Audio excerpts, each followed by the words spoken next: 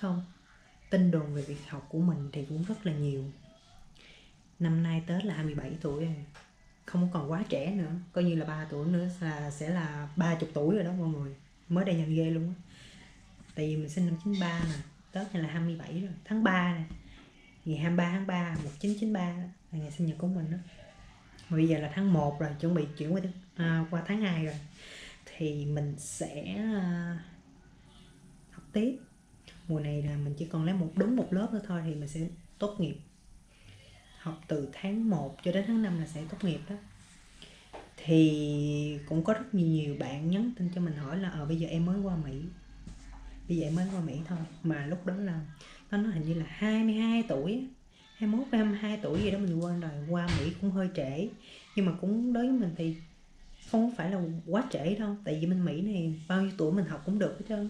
Bây giờ có sáu mươi mấy tuổi bảy mấy tuổi muốn học là học thôi.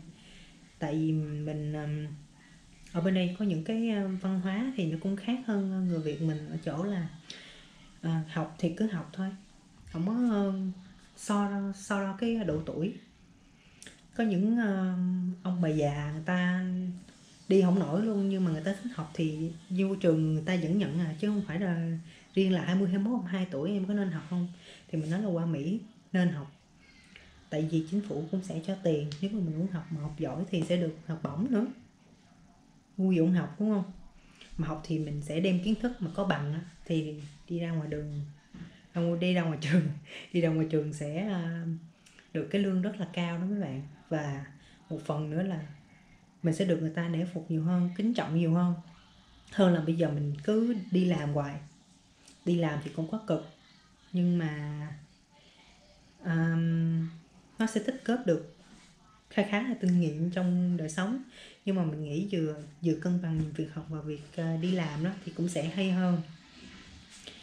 Thì uh, hồi lúc mình qua đây là cũng 20 tuổi cũng không quá là lớn mà cũng không còn quá nhỏ nữa. 20 tuổi qua đây vừa học vừa làm thì mình thấy việc học rất là quan trọng luôn á mọi người khi mình học xong mình đi ra rồi mình cầm cái tấm bằng đó mình sẽ tự tin hơn là mình chỉ đi làm. Mình đi làm thì mức lương mình chỉ có nhiêu đó thôi. Nó lên lương thì do cái um, kinh nghiệm của mình thôi chứ không có um, do bằng biết gì hết trơn á. Nhưng mà học á thì sẽ có tấm bằng cầm đi ra mình sẽ tự tin hơn. Thì cứ tiếp tục việc học đi. Có những bạn hỏi ờ em mới qua Mỹ gì? Thì 20 21 rồi. Ấy à, 21 22 rồi thì em chán lắm em đi làm ừ đi làm đi rồi biết nha. Đi làm có cái cực của đi làm còn đi học cũng có cái cực của đi học nữa.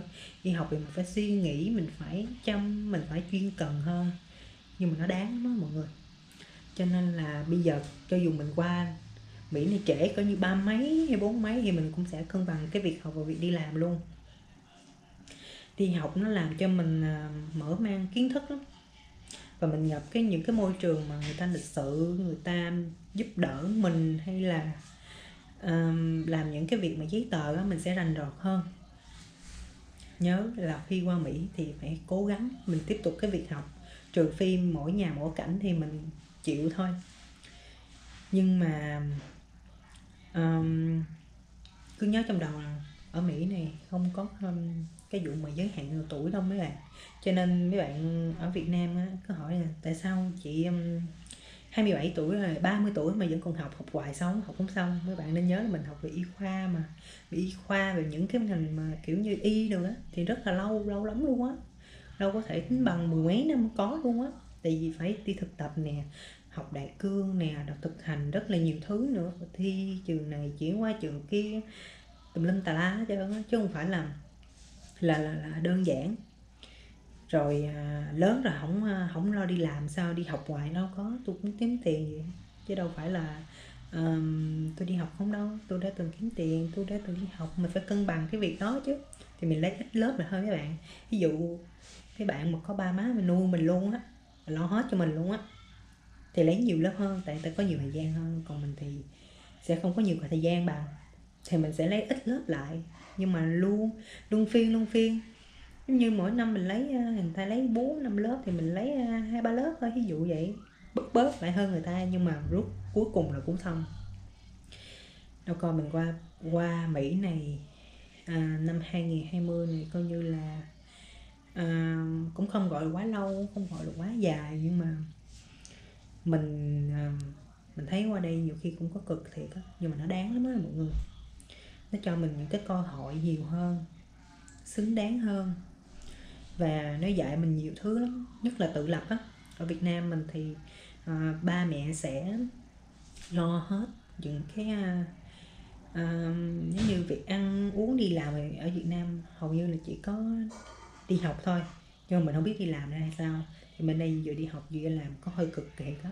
Nhưng mà nó kinh nghiệm có nhiều cái cũng hay lắm. Mình gặp rất là nhiều à, tiếp người mình sẽ biết ứng phó như thế nào mình cũng phải biết ừ, làm như thế nào, tại đâu phải ai cũng tốt đâu, mọi người, có người này người kia thì mình kinh nghiệm nhiều hơn. Ôi, cứ học đi. Ai mà nói hả? Ôi, già rồi học ừ, học gì nữa, người ta cười ở đây không ai cười bạn hết trơn có chăng là chỉ những người mà, người việt mình á, mà sân si á, người ta không đi học nổi á không? Thì người ta cười. Nhưng mà ở đây ai đi học, người ta rất là nể. Khi bạn xách cái ba lô hay là uh, những cái quyển sách á đi á là người ta ta rất là thương vừa thương mà vừa nãy nữa nó tạo ra một cái sự um, mình không biết nói làm sao. Kiểu như là cái người nào mà còn đi học thì ở đây ta rất là nể mọi người tại vì học đâu có dễ đâu đâu phải ngồi trong lớp rồi lấy lớp rồi à, à, kết thúc kết thúc một cái mùa học là xong đâu. Kết thúc một mùa học nhưng mà nó nó kết quả nó như thế nào thôi năm nay mình sẽ tốt nghiệp mấy bạn ơi, mình bị rất là, nói rất là nhiều, người ta trêu chọc mình, kiểu như là lớn rồi già đi học này nữa. Nhưng mà bây giờ mình xong rồi đó mọi người. Bây giờ mình có cái tấm bằng hú hồn rồi đó. Rồi sau đó mình sẽ tiếp theo mình mình học chuyên cần đi tiếp thôi. Có nghĩa là mình nói ví dụ nha, ví dụ một công nhân ở đây làm mà mà ví dụ bán một áo ờ, lẻ này đi, mới vô đồng 12 đồng, phải không? Còn công nhân mà à, công nhân mà kiểu như làm ở trong hãng xí nghiệp đó 17 18 đồng mình nói ví dụ vậy đó. Cao hơn nữa là 19 20 do có kinh nghiệm ờ, làm lâu hay làm làm mới thì cái mức lương sẽ tăng lên nhưng mà khi mình có cái bằng á, nó tính bằng chục đồng cho đến trăm đồng một tiếng chứ không thể nào mà mà mà thường là ít hơn được. Cho nên là mấy bạn thấy không? Cái việc học nó cũng có rất là lợi rất là lợi cho mình luôn.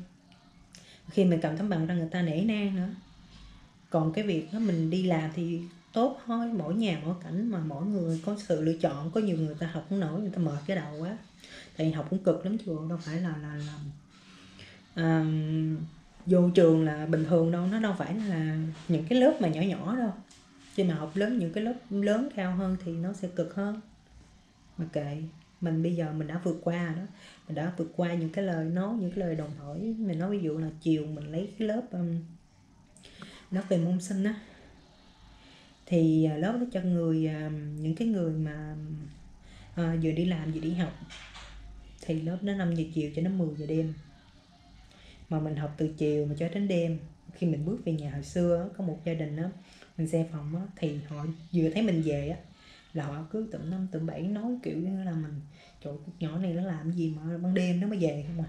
Nhưng mà người ta đâu có biết là mình đi học đâu mọi người mỗi sáng thì mình kể cái chuyện khác cho nên là mình lấy cái lớp tối. Không phải lấy lớp chiều chứ lớp chiều nhưng mà học tới tối là 10 giờ mới ra.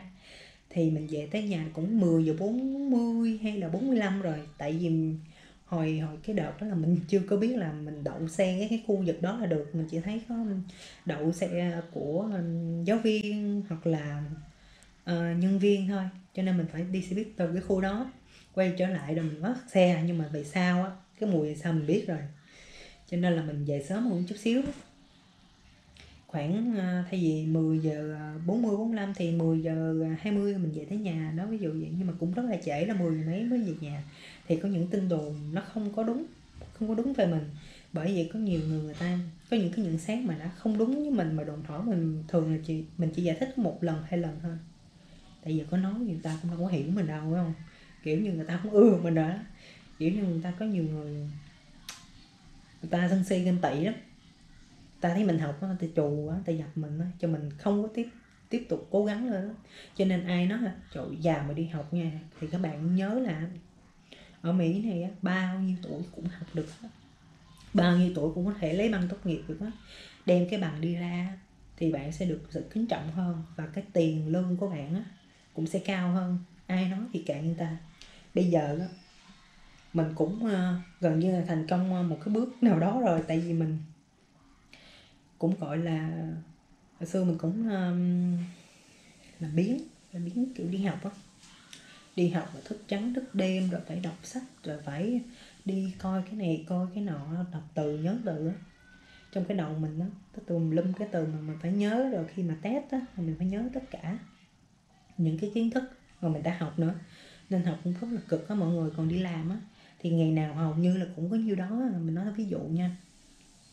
Mỗi cái à, coffee đó đó mỗi cái coffee mỗi, mỗi cái mùa đó thì cũng có nhiêu cái mùa đó thôi người ta làm tới làm lui thôi à. Đó thì nó sẽ dễ hơn. Còn khi đi học á mình phải phải uh, adapt á quan trọng chút nha.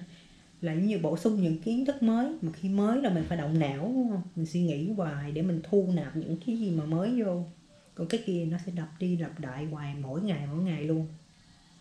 Cho nên đối với mình nha giữa việc đi học và việc đi làm thì việc đi học nó rất là khó luôn. Cực kỳ khó luôn. Vừa khó mà vừa siêng mà mình phải tự kỷ luật mình á. Là nó ờ, cái lúc đó là mình phải xong bài này nha. Chứ sẽ không còn thời gian nữa đâu mình phải tự biết sắp xếp. Còn cái việc đi làm thì mình nghĩ là đơn giản hơn và dễ hơn. Chỉ có điều những mùa lạnh á, thì mình hơi làm biến thôi rồi chúc các bạn à, nào mà có còn có suy nghĩ mà à, à, lớn rồi em lớn rồi em 21 22 rồi em chắc em học không được nữa đâu em học không nổi đâu học được chứ. À, em học được chứ. Xin lỗi mấy bạn nào mà à, nghĩ như vậy là rất là uổng phí luôn á. Khi mình qua Mỹ đây có rất là nhiều người người ta ao ước là người ta sẽ nhận được một cái bằng ở Mỹ này.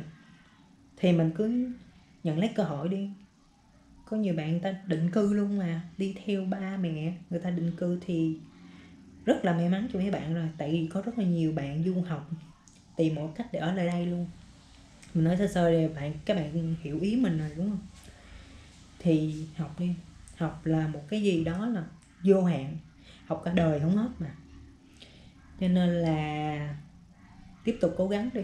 Người ta nói được vài lần là thôi à. Bây giờ người ta đâu nói được nữa đâu, tại vì giờ chỉ có mẹ mình ở nhà thôi nếu mà thời điểm đó mình chán mình nản hoặc là mình tức về những cái vụ mà người ta nói không đúng mình á mình bỏ cuộc quá thì quá uổng. Thì bây giờ mình cũng không có được tốt nghiệp đâu mọi người. Cho nên ai nói gì nói mình đi đường của mình thôi. Mình phải tin vào mình. Không có tin vào ai hết thôi cái phone của mình. Ok bây giờ hả mình bị um, sốt nóng lạnh luôn á mọi người. Mấy ngày này mình bệnh nhiều lắm. Bây giờ người mình run run run luôn á. Ngồi nói chuyện cười nhưng mà trong cái người mình run run run luôn hôm nay vừa trời lạnh nha mà mình dễ sốt nữa. Và ngày mai sẽ là ngày học đầu tiên của mình. Sẽ là ngày học đầu tiên của mình và cái lớp này lớp cuối cùng của mình luôn. Mình ở trường này chắc cũng uh, mấy năm ta? Ừ, trời ơi, nhiều à. Chưa có tính à, mà hồi lúc đó mới qua học um, English uh, English mà có lịch á. Ờ, một một hai, một một mùa một, mùa hai có nghĩa là phải học những cái lớp đó để đi vô những cái môn chuyên môn á, ví dụ vậy á. Thì cái trường này cũng rất là gắn bó với mình luôn á. Mình có rất là nhiều kỷ niệm tại ngôi trường này. Bây giờ mình phải enjoy, mình lại đi vô cái trường này để mình, kêu bằng ôn lại những kỷ niệm á mọi người. Cái trường này là một trong những kỷ niệm nhiều nhất đối với mình luôn rồi tiếp tục học đi mọi người ơi. Ai nó không thì mình nó có đó. Tiếp tục đi. Nhé. Học không bao giờ là muộn hết trơn. Rồi à, còn mấy bữa là tết rồi. Hôm nay là thứ tư. Mình quay cái buổi này là à, thứ tư. Lát hồi mình edit lại nữa. Rồi à, mình edit xong rồi mình sẽ đăng lên cho cho mấy bạn coi chia sẻ những cái um, những cái thông tin này. Rồi chúc mọi người năm mới phát tài vui vẻ. Mọi sự hanh thông tỷ đều may mắn. Vui lên. Rồi à, suy nghĩ à, theo nhiều hướng tích cực hơn. Rồi tạm biệt mọi người. Tạm biệt với Woody. Peo peo peo.